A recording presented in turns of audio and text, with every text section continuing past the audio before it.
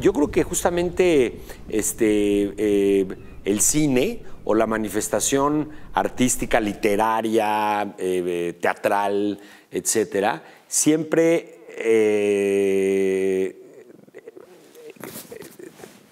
es como es como un solar el tema de una tragedia, ¿no? El tema de una tragedia y lo que deja en su camino, pues siempre te da una, te marca una línea dramática. Eh, esta película, Los Ojos del Mar, curiosamente no, no, comienza ahí. No comenzamos en el tema del naufragio. El naufragio fue un, tema que se fue dando, aunque desde el principio Hortensia nos hablaba del tema del naufragio de sus amigos, nosotros andábamos como en una idea de que ahí está esta parte, ahí está esta historia.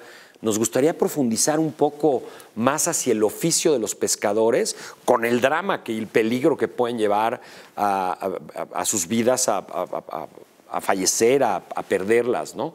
Pero no era el centro de la película. Eso lo fuimos alimentando y lo fuimos descubriendo con el paso del tiempo. Creo que mm, a veces, eh, bueno, decía creo que Shakespeare, ¿no? que había, creo que 28 o 30 tramas distintas en las cuales se elaboraba una historia. Y bueno, desde luego el tema de una tragedia y una muerte y una tal te lleva naturalmente a, crear una, epopeya, como dices tú, ¿no? Eh, en este caso, creo que eh, sí, efectivamente, la búsqueda de la heroína, ¿no? Hablando de las epopeyas de la heroína, para encontrar esta, eh, esta solución a este drama, eh, lo empezó a hacer interesante con el paso de la filmación, con el paso del rodaje, poco a poco. La idea de repente de encontrarnos a Hortense en medio de un muelle, en medio de quién sabe cuántos pescadores, la idea que traíamos de la sirena, decimos, bueno, pescadores, mar, sirena, está interesante, ¿qué hacemos? Puede subirse un barco, hay que pedir autorización, no se permiten mujeres en el barco, ¿cómo le hacemos? Pum, de repente se logra que se entre la mujer en el barco, ella insiste con el tema del naufragio de sus amigos, estamos en un barco, un barco camaronero, pero el naufragio va sido de un barco este, atunero, sin embargo, todos eran la misma comunidad, es una comunidad no tan grande de pescadores, relativamente, y se empieza como a, aflorar el tema de la, de la, tragedia de un naufragio. Este, yo, creo que la, yo creo que la idea del soldado que pierde la, la vida en una, en una batalla, la batalla en sí misma, el combate en un campo en un campo de batalla, valga la redundancia, las batallas marítimas que hemos visto en cuadros, en historias, Moby Dick, etcétera, pues claro, son motivos, pues por eso se filman y por eso se escriben sobre ellas, porque hay cosas que contar. La gente sin duda se va a quedar eh, viendo el, el transcurrir de la epopeya, ¿no? Pero no empezamos pensando ahí curiosamente, nos fuimos sobre otra línea. Nos parecía que era importante porque íbamos a contar los peligros que incurrían los pescadores en su, en su oficio tan, tan cabrón y tan complejo, ¿no? Pero estábamos como en otra idea, estábamos como en otra, como en otra tesitura y poco a poco nos fue llevando la historia allá. Hace 10 años que no venía al mar. 10 años sin subirme a un barco. Tengo muchas razones importantes para hacer este viaje. Una noche soñé que Arlette me traía muchas cartas para llevarlas al mar. Nos empezamos a dar cuenta que era tan fuerte esa historia y conforme fuimos conociendo a los compañeros de los náufragos, nos dimos cuenta del peso que tenía y de repente entonces empezó a salir la idea de que, oye, pero además te quiero contar que ayer soñé que Arlette me traía unas cartas para dárselas a su papá. Ah, a ver, a ver cómo. No, sí, ¿te acuerdas que te dije que me la encontré en la calle, tal? Bueno, lo volví a soñar y tal. Y sabes qué, me gustaría llevarles cartas a todos los pescadores. Y entonces pues íbamos tomando nota de todo lo que iba pasando en la, en la mente y en la fantasía y en la imaginación de, Hortensia. Y entonces fuimos como La- le- prácticamente todas mis películas tratan sobre las diferentes prácticas de la fe. Mm, Es decir, desde el documental que hicimos en Sarajevo hace más de 20 años, eh, Flores en el Desierto, Venus, Canícula, pues hay, hay, hay- detonantes, hay, hay- hay prácticas que nos llevan a, a ver, quiero poner atención en esta creencia, en esta idea. Yo creo que la, yo creo que la fe, yo creo que la fe, sinceramente, surge a partir de la muerte. A partir de, de la concepción de la muerte es cuando el hombre dice, a dónde se fue, por qué se fue, dónde está. Vamos a empezar a creer que hay una vida después de la vida, aunque no sea material. Y entonces, como no es material, pues no lo veo, pero tengo que empezar a creer en él. Y se empieza a elaborar el concepto de la fe. Y yo creo que de alguna manera, en, en Los Ojos del Mar, de esta forma, Hortensia va creando esta idea de esta, de esta eh, ofrenda para tra- tratar de traer, como decías tú, eh, confort o consuelo a las familias. Pero todo parte de un sueño, todo parte también de la fantasía, todo parte como del principio del concepto de la fe. Y creo que eso es lo que lleva a Hortensia a presionar. La película le da apoyo, le da soporte, le da una, un empujón y le dice, vamos a hacerlo. Eso nos interesa hacer. Pero eso fue una cosa que empezó a entrar a la mitad de la película. Eso no estaba desde el principio. Y eso fue una cosa muy bonita. Todo eso lo fuimos descubriendo con el editor que me ayudó a hacer el guion con Diego, con Diego Rivera. O sea, empezamos a hablar, oye, a ver, aquí está pasando algo, ¿por qué no metemos esto? ¿Por qué no cuadramos? Y entonces empezaba a surgir, oye, ¿y una red? Oye, ¿y una tal? Oye, ¿y una? ¿Y si mandamos un cassette o, o, eh, con un video para saludar a, a- a- nuestros muertos? Oye, si metemos esto, oye, si metemos la idea del espejo, empiezan a surgir una serie de ideas a partir de un sueño. Y entonces, pues es cuando, es cuando me viene a mí la reflexión, oye, la fe efectivamente viene pues, a partir de ahí, a partir de algo inmaterial, a partir de algo que hay que creer que no existe. Raúl, yo te mando la foto de la familia. Acá estás con tu hija, Daniel, Jocelyn, Raulito. Es la última foto que nos tomamos. Te mando tu anzuelo para que sigas pescando donde quiera que estés allá. Tú sigue en tu deporte favorito, que es la pesca. Bueno, esa es la razón también por la que se llama Los Ojos del Mar. El, el nombre fue complicado y de repente ya sabes, dice uno, pero ¿por qué tan complicado? Pues estamos hablando justo de lo que estás diciendo, son visiones aquí, son visiones allá. Es algo que los ojos que los ojos hacen. Te respondo la primera que está muy interesante y de manera rápida y concisa. Eh, esta soledad en la que habitan los pescadores durante tanto tiempo los lleva necesariamente a tener un diálogo, un diálogo interior. Porque bueno, sí pueden efectivamente tener un diálogo pues, entre ellos, pero ya las dos semanas ya sabe la historia uno del otro y del otro de uno. Y entonces empiezan de alguna manera como a recoger, se convierten como en unos monjes.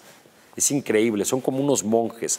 Cada uno está en su lugar desde su soledad y tal. Y la sensación de este diálogo interior se convierte con un diálogo interior, pero que a través de los ojos miran el cielo, las estrellas, el sol, las olas, el reflejo del mar, la, fa- la- la fauna de compañía que va con los barcos. Empiezan a tener como una comunicación con todo y se empiezan a dar cuenta, empiezan a sentir que efectivamente el mar los mira, que en realidad es el mar, las aves, eh, las estrellas, el sol, la luna, un poco como lo, planteaba Pessoa, ¿no? Que por qué si le llaman, por qué le llaman Dios si son aves y flores y pues un poco lo mismo sucede aquí, pero aunque Pessoa lo dice poéticamente, aquí lo que sucede es eso, que ellos desde su silencio, desde su enclaustramiento, pues desde ahí ellos dicen, aquí algo nos está mirando, algo nos, nos está observando. Entonces eso, eso sucede en este caso. Luego me decías del tema del espejo, ¿no? Pues es un poco lo mismo. ¿Cómo retratar esto? No vamos a mandar un VHS o no vamos a mandar un DVD. Vamos a tratar de ver cómo le hacemos. Eh, mi, primer corto Venus es una cámara fija que supone ser los ojos de María Magdalena, en donde recibe casi 200, casi 200 rezos a cuadro. De eso se trata mi cortometraje, expresando una serie de cosas muy fuertes. unas peticiones muy cabronas hechas en la intimidad. Y de alguna manera ahí vi eso y dije, aquí, aquí la idea del reflejo, la idea de la mirada, la idea de esa compenetración existe. Y el reflejo, el espejo siempre ha sido, pues, de alguna manera manifestado este, en la historia como el lugar en donde se puede ver y registrar el alma. Y entonces, bueno, pues la idea del espejo surge ahí también, que es un- una sorpresa de la película, pero ya la estamos contando, pero bueno, pues obedeciendo a tu pregunta. Y luego nuestra, nuestra cámara, pues exacto, que mira todo eso, pues también es ahora sí co- como que el cierre, ¿no? Nosotros fuimos a ver los testigos para que la gente vea el mar y el espejo y nuestra cámara y entonces nos, nos, nos hagamos todos como dentro de un círculo, ¿no? Tal vez yo creo que ella siente que te falta luz para que tú descanses. Ella te quiere iluminar y por eso te va a poner tu velita. No las conociste, ellas son mis dos bebés. La más grandecita se llama Luz Magdalena y la más chiquita se llama Itzel Janet. Las dos son muy traviesas y te mando una foto de las tres. Tú hubieras sido el mejor abuelito para ellas. Muy catártica, muy catártica. Era, era, era sobre, todo el, sobre todo el momento de grabarlos a ellos, tratando de enviar sus mensajes al- a, sus muertos. Es muy catártico. Nos tenemos que ir del, del lugar, nos tenemos que poner unos audífonos, no podemos estar presenciando ese drama, es, es demasiado fuerte. Eh, No, no, no, no, no, no, no, no fue nada sencillo. O sea, sí nos teníamos que mover, era muy doloroso y, y, sí, y pues, pues para ellos, pues su catarsis es la que a nosotros nos pega con ese dolor y tenemos que apartarnos de ahí porque se pone muy cabrón. Sí, efectivamente, sí se pone muy rudo y muy complicado.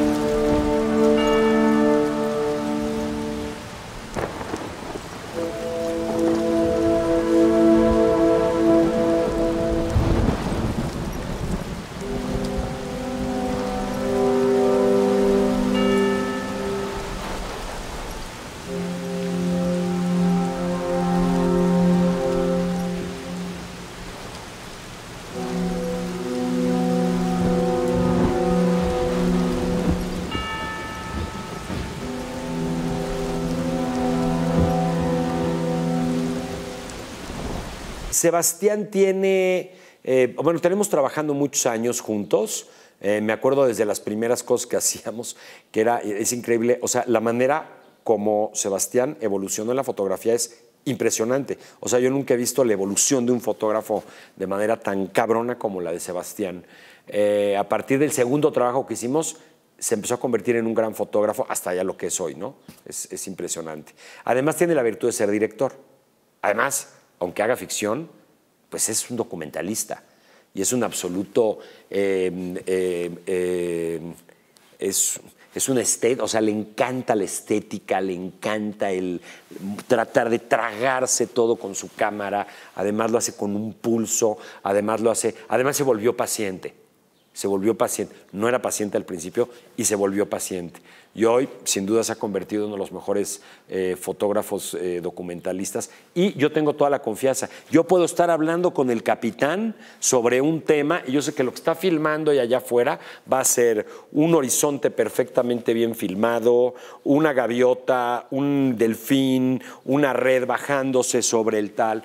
Entonces, yo cuando trabajo con él muy de cerca le digo, vamos a hacer esto en primer plano, vamos a hacer esto allá, vamos a hacer esto de esta forma, esto eh, tómalo cenitalmente, esto tal, tal, tal, tal, pero él aporta absolutamente a la película. Él tiene absoluta libertad para hacer las cosas que necesita y que su propia energía y su propio impulso le dictan, y yo tengo toda la confianza de que lo haga, y por eso creo que la película fotográficamente eh, eh, tiene mucho valor.